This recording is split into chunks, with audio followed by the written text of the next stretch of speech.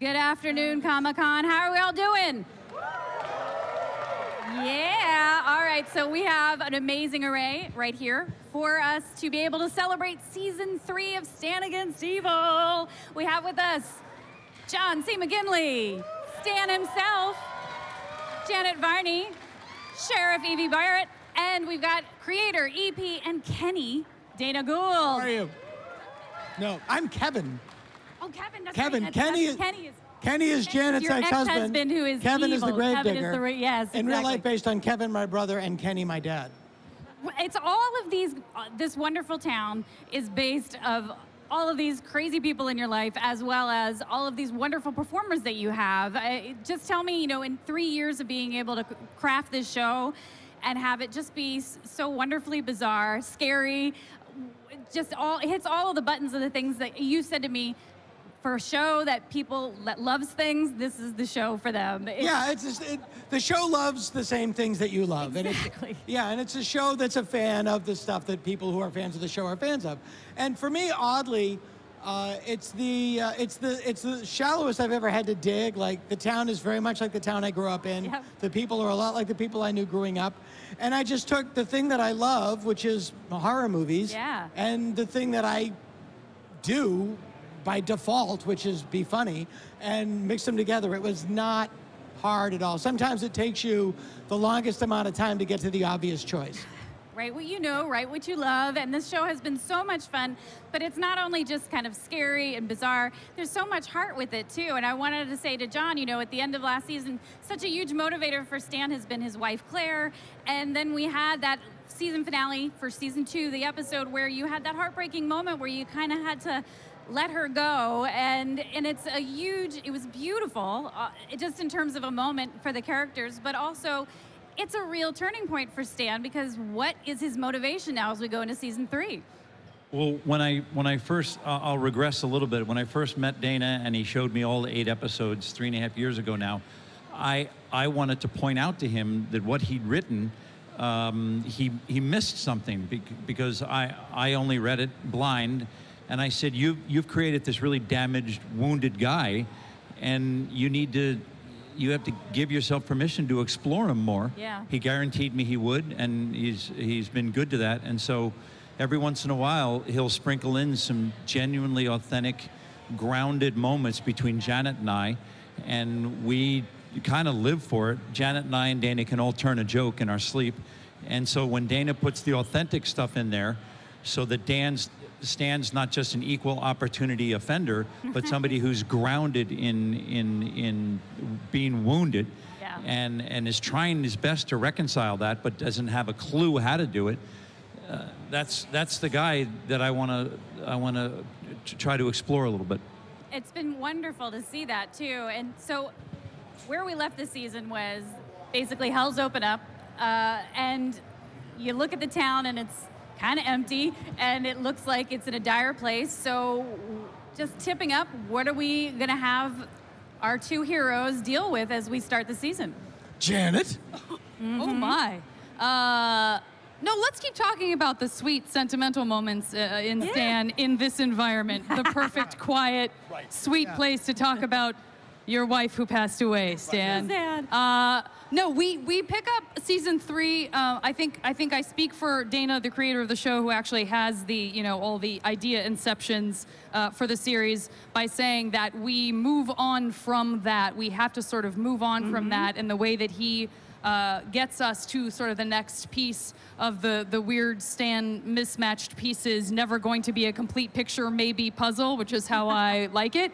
Uh, is that uh, we have to solve that issue, and then it sort of cracks open an entire new problem. Yeah. Uh, that is, in, in fact, very new and very different, and takes the show in a totally new direction. And we do some insane stuff that uh, I'm incredibly excited about.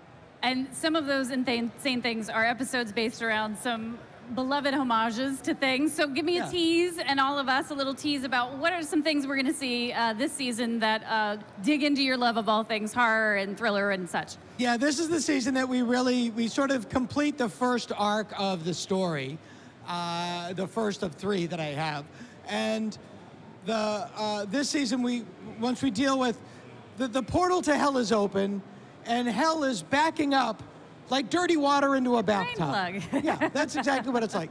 We deal with that. Uh, we have a Godzilla episode. Nice. We have uh, uh, David. Uh, we have an X Files homage.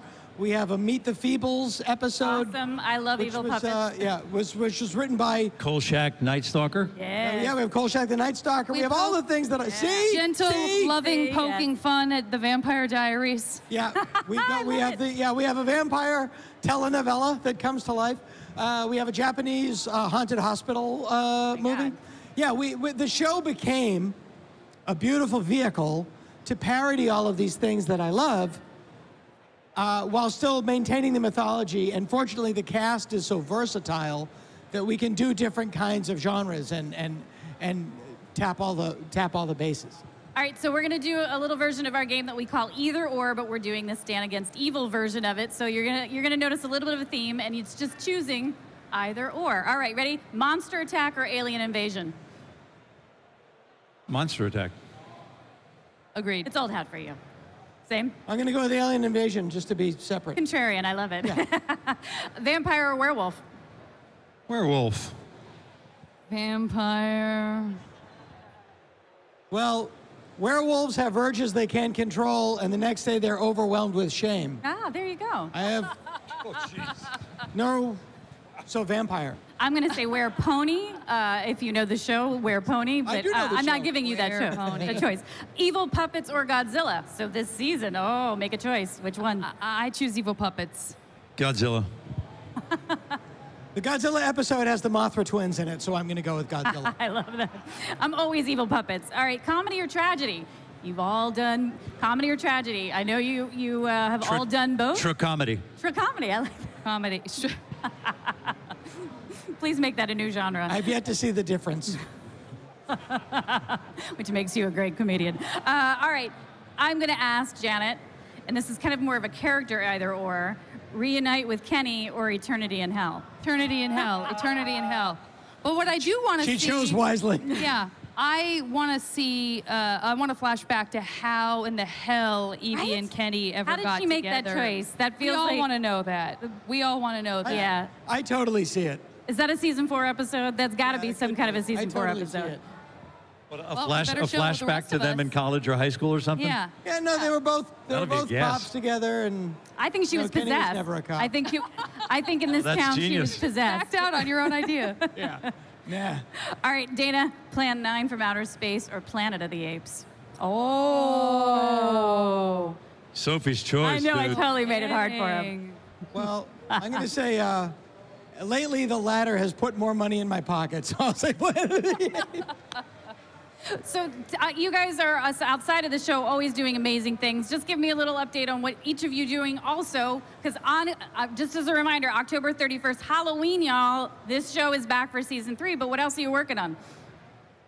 Um, it's October is Down Syndrome Awareness Month, and it's also the 50th anniversary of the Special Olympics. And so we're encouraging people to include and elevate Yay. everyone with special needs, and as much as possible, eliminate the R word, which is retard, retarded, from your language. Yes, thank you for that, Janet. What else are you up to? I wish that we would have ended with John because the work he is doing is uh, far more important than what I'm about to say. But if you need a laugh in these very strange times in which we continue to live, IFC.com has my new show. It's called Fortune Rookie. I play a version of myself who decides to quit showbiz to become a fortune teller. I tell uh, the, fort- the very badly fortunes of uh, people like uh, Fred Armisen, James Roday, God. Tim Omundson from Psych, um, a certain Scott Adsit from 30 Rock and Big Hero 6, Laraine Newman from SNL, Deborah Baker Jr. from this show, and uh, and many more. That's so check it out. It's on IFC.com Yeah. right now. And Dana? Scott Adsit, who was on Stan Against Evil this That's season correct. as well. Oh, very nice. As well as Miller Visit. Uh, yes, John talked about Down Syndrome Awareness Month and the Special Olympics. Yes, Janet talked about her series on IFC. But I'd like to talk about something serious and important. I've written a comic book. Yes. Uh, no, I have a graphic novel that just came out called Planet of the Apes Visionaries. It's my adaptation of Rod Serling's first draft of Planet of the Apes, and it's out now on uh, by Boom Comics. And if any of you guys are back in LA or heading back home, October 11th, Plan 9 from, from Outer, Outer Space, Space. Live.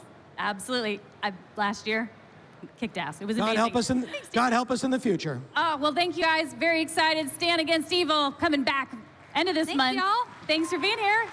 Thank you.